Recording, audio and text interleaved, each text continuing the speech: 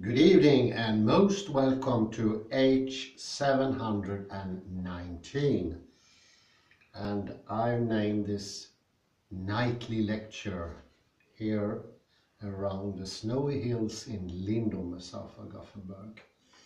Appearance, deceptive or not?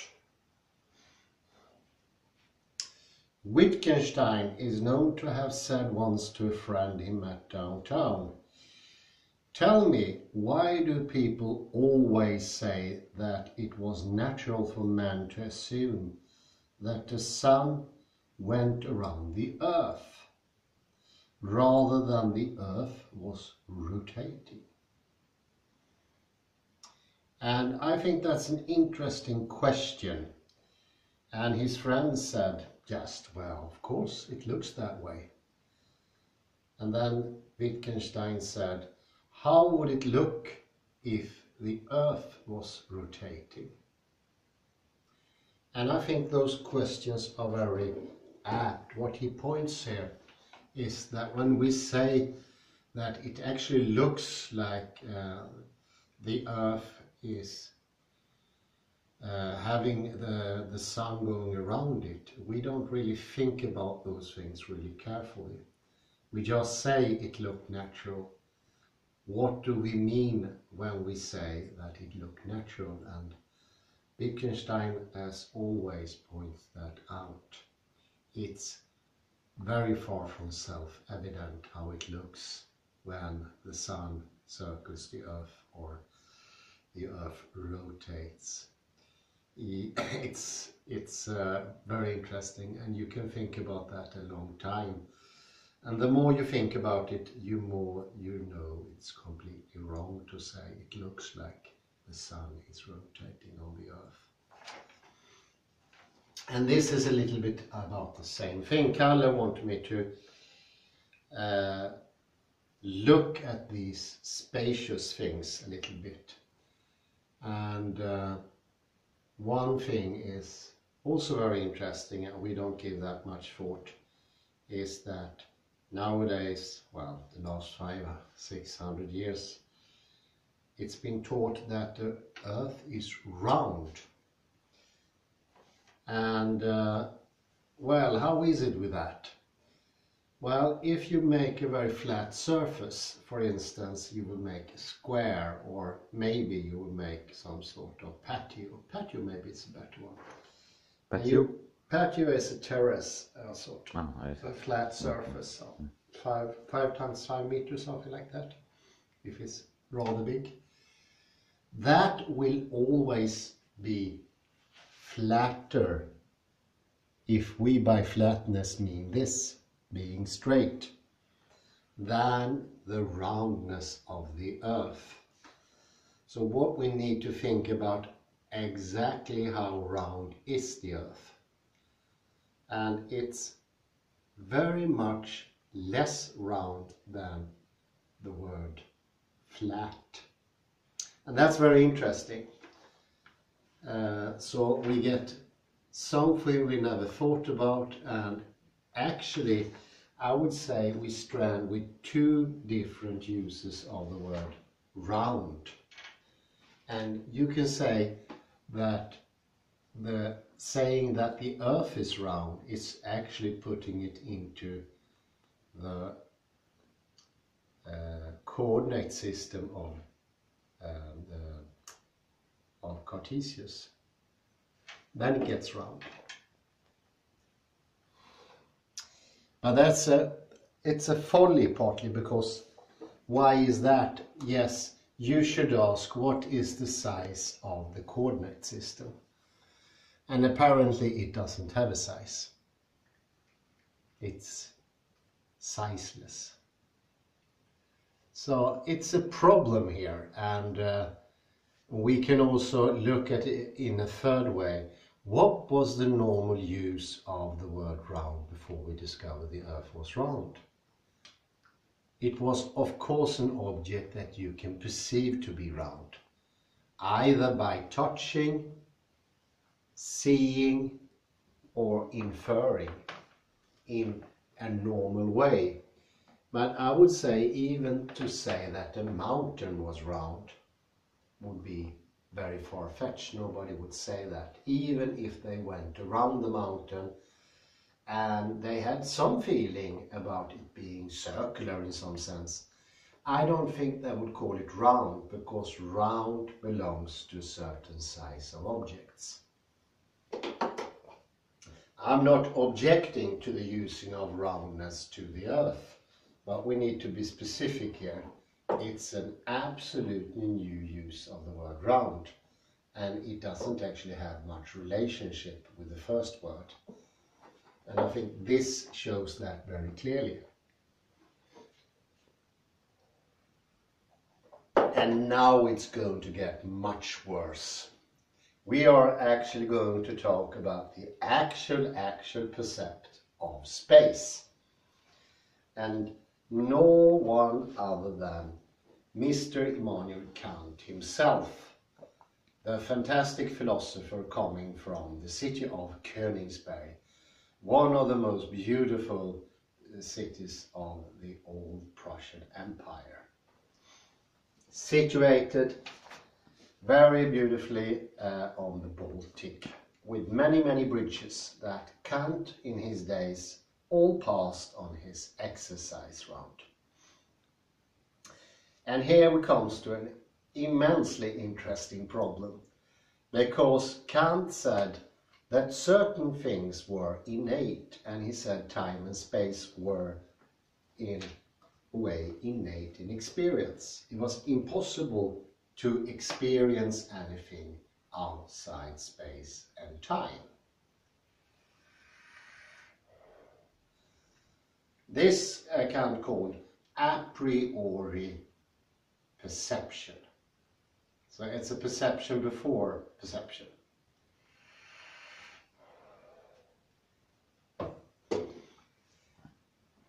and in the space of Kant, the shortest distance between two points was always a straight line. That and many other uh, properties of space was that uh, was it that Kant thought space was. However, and here comes a really big but.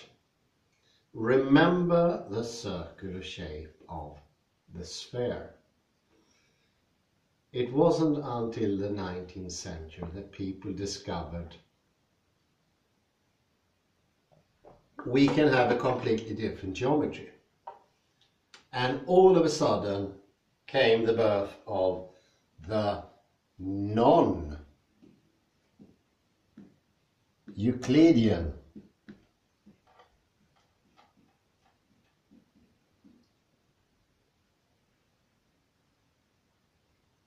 Non-Euclidean geometry. And the ge in the non-Euclidean geometry, it was not uh, the shortest. The shortest distance between two points were no longer a straight line. It is a rounded line.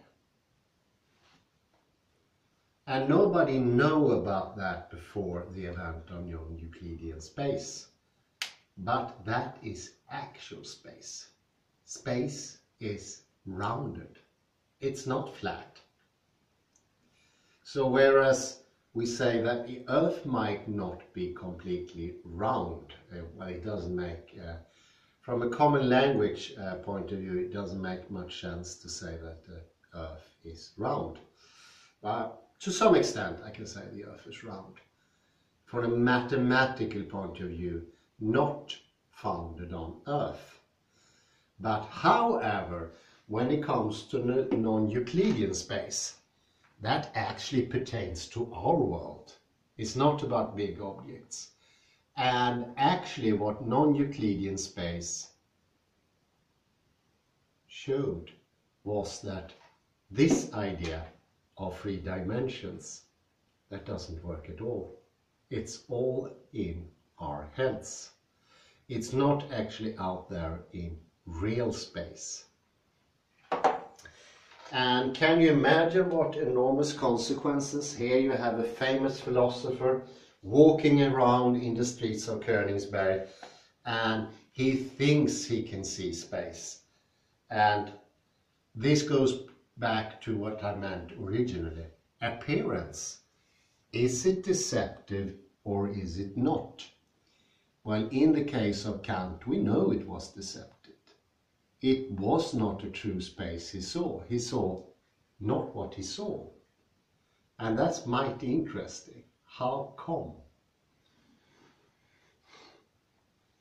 Nobody knows uh, what would have happened if Kant would have known about non-Euclidean space.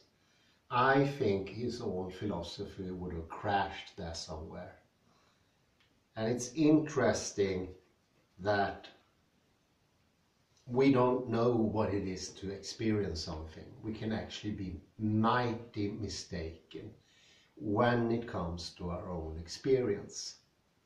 Of course, it goes to say that Kant experience a non-Euclidean space because that's the only space there is. There isn't any, any other. You can't really have a Euclidean space to perceive.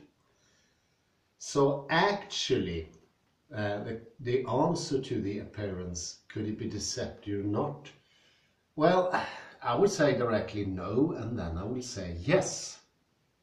I would say no, because of course Kant in some way perceived space because he moved around the streets of Königsberg. He went over the bridges, he had his daily exercise. And for him to move that way, he had to understand space, otherwise he wouldn't be able to move.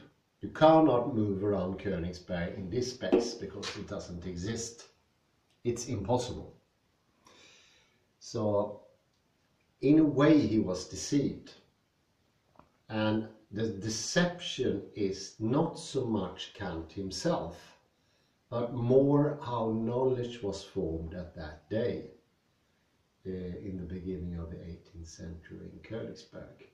So here you see there is actually a timing to knowledge of space and room when it comes to the abstract and that it could change, I think that's a very, very important lesson. Uh, why do I say that? Well, for one instance, we've been talking here earlier about a certain person who can't accept something to be existing and non-existing. And he says he cannot see something existing and non-existing at the same time. And as I just more or less indicated here, yes, that could actually happen. In a way, he's wrong.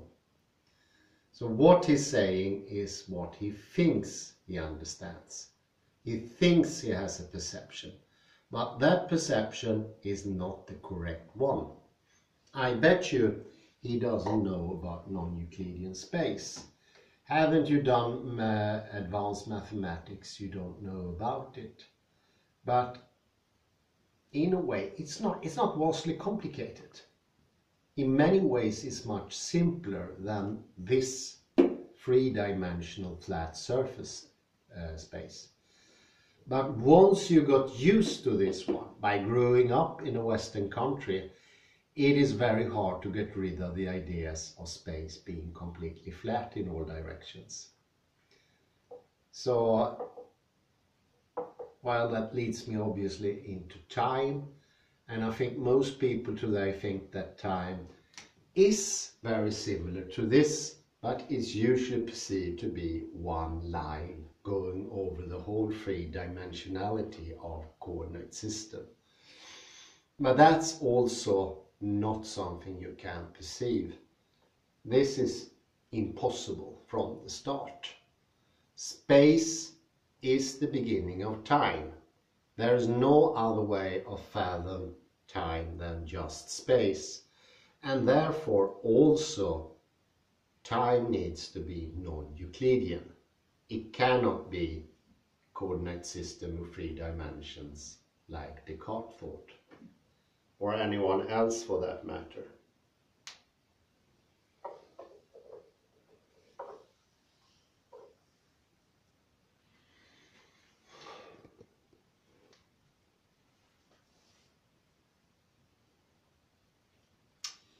And what happened in geometry when Euclidean space came to the fore, when it came up, there was first it was a big revolution and we changed everything and people got really surprised. And then uh, much later when we start to look at what happened in antiquity. And that's very interesting because it seems that uh, the foundation of thinking that space was absolutely flat. That did not develop clearly. And that meant that you could actually partly have a non-Euclidean space until a certain time era because you didn't put the foundation. Uh, for the foundation to be put properly, you need to have some sort of explication, that you explain what the world is in a way that's mathematical and can make sense. And once you've done that, then this disappears. And that happens at a certain time instance. I, it's very hard to say when that should have been, but it didn't happen before 500 after Christ. It happened uh, somewhere after that time. So you can see how knowledge shuts itself and it opens itself. And sometimes it's half open. And this has to do with exactly the same problem I mentioned here. The problem with a round surface and a flat surface. Where is the flatness starting? Is it starting in this one or that one? because this can only be flat in comparison to something else. And the Greek understood that because that was before the foundation was laid.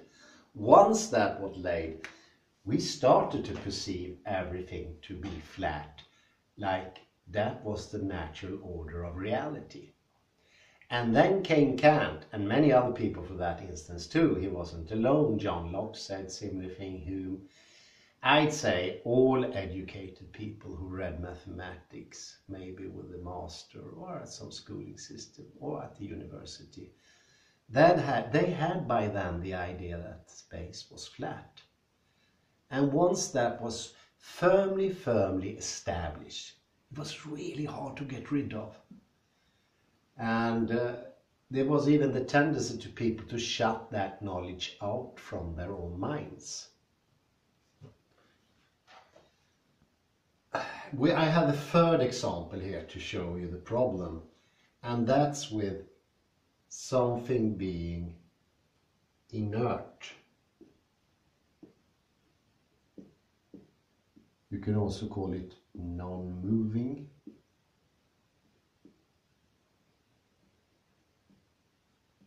Static.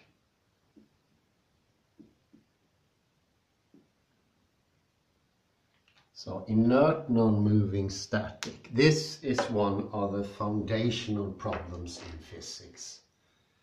Uh, and it, uh, when, for instance, the classical physics came, it caused a huge stir. And uh, I am here referring to the bucket, the famous bucket, the bucket that needs some sort of original, original force of gravity. It needs to be centered somewhere so the uh, uh, gravity inside the bucket can be stable.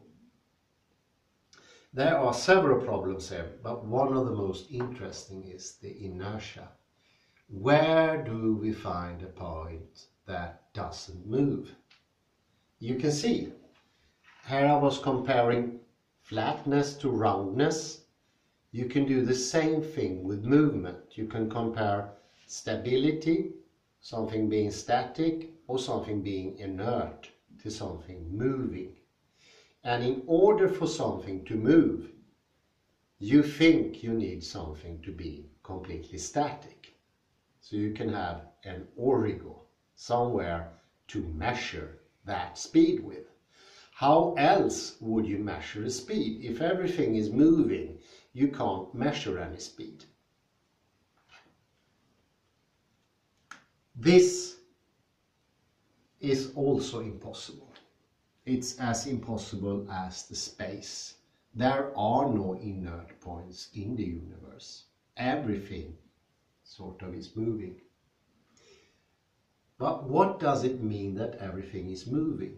Well, it does actually mean, as I said in the beginning, in certain aspect you can say something is stable because we have a common sense use of the word.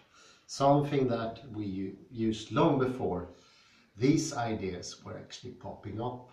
And then we could say, this is standing here, nowhere else, it's stable. But it's becoming a problem when we make something of this to be more absolute or foundational. Only then does the problem start. And here is the really interesting points. Let me get back to the roundness. How was it with mariners, sailors at the seas? Because they could be the only one that actually in ancient days perceived the round, uh, roundness of the earth to a certain degree, to some degree. What is the reason for that? Well, the reason is the sea is an immensely flat surface, so to speak. It's complete flatness. There's no mountains, there's no trees, there's no valleys, there's no nothing. You just see straight ahead.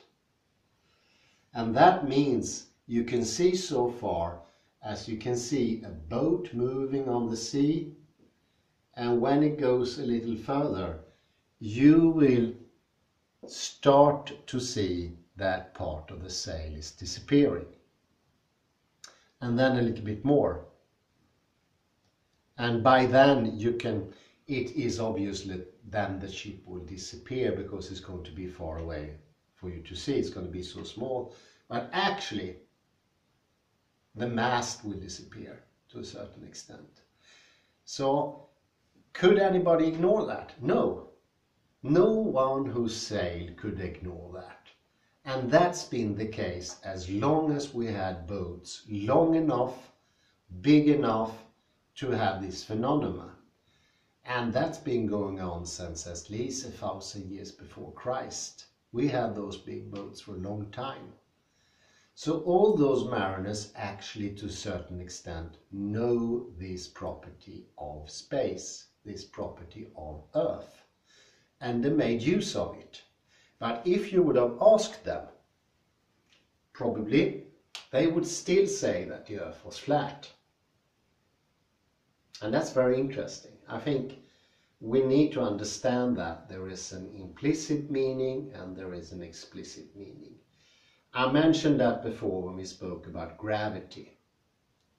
And we can have different explicit meaning and they are actually pointing to the same thing.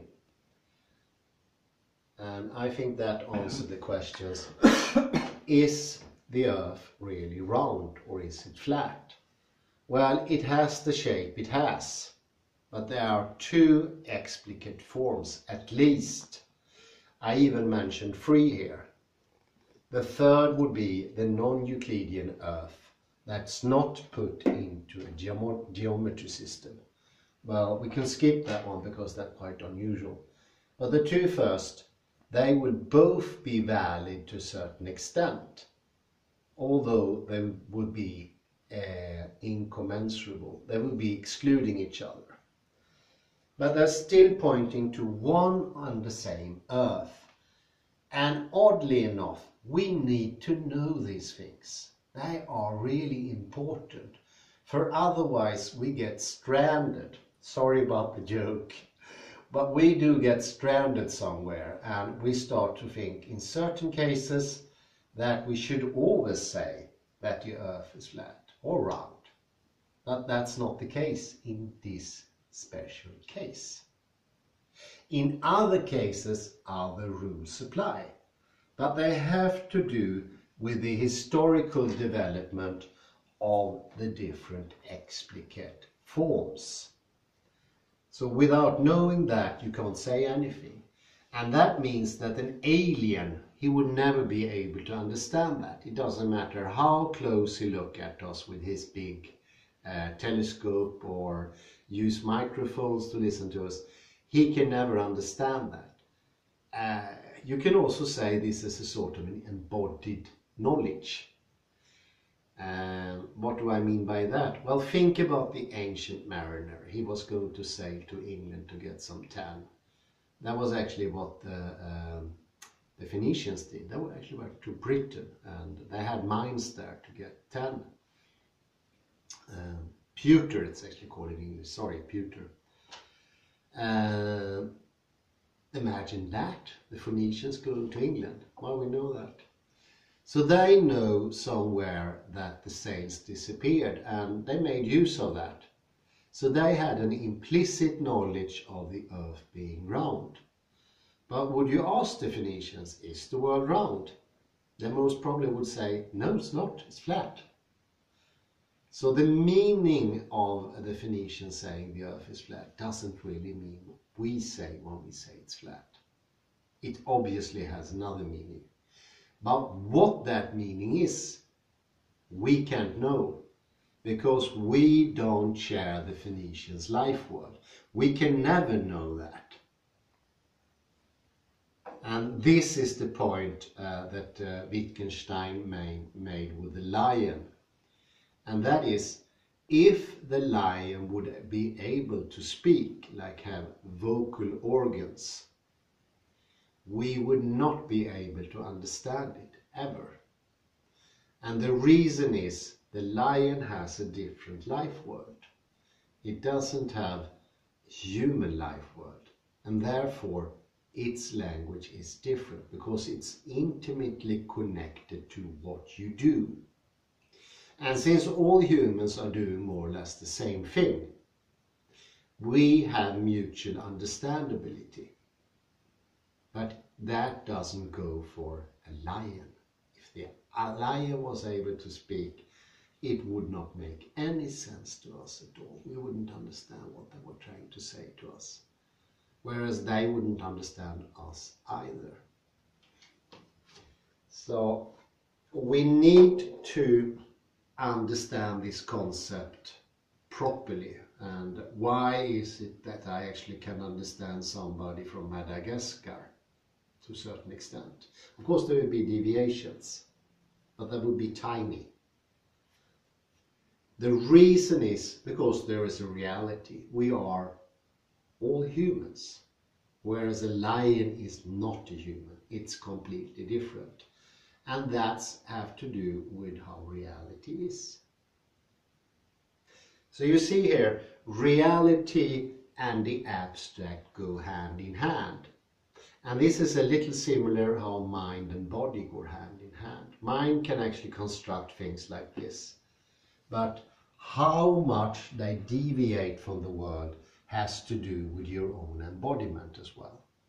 And are you firmly grounded in the world are you a mariner? Are you a Phoenician who working on, on a sailing ship trying to get pewter from England?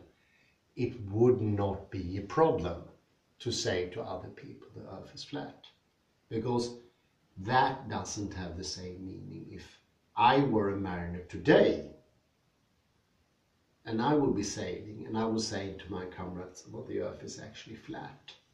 That was completely different.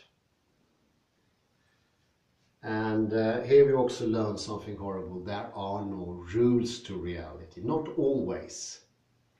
All is exception, and space is one of those. It's not at all as regular as everybody thinks. And we mentioned this. We mentioned this about Heisenberg's insecure, uh, indeterminate problem, and also the problem of existence in Schrödinger's cat. And when we come to John Bell, that everything is not made from the beginning in the universe, determinism. All these things shows that space had interesting, very odd qualities and we need to learn them. The only way to learn them is by encounter them with our bodies for one sake, with our minds for the second sake. Two different stratospheres and when they come together you have sort of a direction I mentioned before. Your sailing ship will actually go to England and you can have a whole ship cargo full of pewter. You can bring it down to Byblos or Tyros or one of the other towns in uh, Phoenicia to sell and you can get some nice wine from Lebanon or something like that. That's the life world you're living in. And that's having a reality to their language. Language and reality are never separable, not completely anyway, but it can give that impression. I can understand it can give that impression. And here is a very interesting twist I've been thinking about for a while to help the understanding here. Think about a unique feature in Europe because we are Europocentrical. But there is a unique feature in Europe that's not shared by other places in the earth. And that is we have languages in Europe that are all interrelated and rather close as well. And that's not the case in Asia, for instance. And that could actually be a source of trickery. Just because we can translate words, it makes it even easier to get the idea that they actually monosemically corresponds to something of an outer world that is exactly the same for everyone. You see here how tricky it is. All the languages in Europe are interrelated. They are very close to each other. They form small states. Compare that to Asia. Either you have the case as in China, you have an area that is four times bigger than Europe and they all speak only one language. You see, there's much less risk of having that confusion. Uh, and then you can take the example of the rest of Asia, uh, Thailand, Burma, India. All those languages are so different, there is no risk of having any correct translation that is worth the price. They're actually so different, uh, even the structure makes it impossible to have a direct translation. Most of uh, the Tibeto-Burman language only have one syllable, instead they have a tone, and whereas the Indian language are usually syntactical. So it's trickery. Geography just plays a very big part. And of course, on top of this, who became victory of the world, victors of the world? It was Europe, with its closely interrelated languages, living very closely together which even furthered the idea that every word had the same meaning because maybe the same basis was transported all over and the ideas came over border and border. Uh, so you see the problem here and uh, Europe is also much more uh, in, interconnected because the commerce the Mediterranean gave uh, uh, sea to. There are actually authors who said the Mediterranean is one of the main causes for logocentrism. Mediterranean is unique. It's a sea that's not too big, not too small, to be completely covered by ancient traders, which made the idea you understood the whole world and you thought that was all of reality more or less. So uh, I think I round up here. Going to take some questions with Kalle if there are any a little bit later. And uh, well, go figure. And I wish you a very pleasant good night. Thank you for the round up.